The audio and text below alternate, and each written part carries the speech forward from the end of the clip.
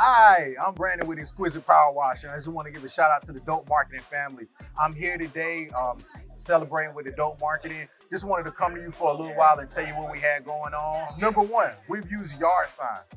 That's been the number one cash crop in our business. Dope Marketing has provided that for us. We've had turnover service. Anytime I have any issues I need to get something fixed, I pick up the phone and I call David myself. He gets it done right away, so it's a good feel. You know who you're dealing with. You don't have to worry about going through the loopholes or trying to find uh, these go through these different people to to get your signs the way you need them to be. But the service that they provide has been A1. Just want to give a shout out to them.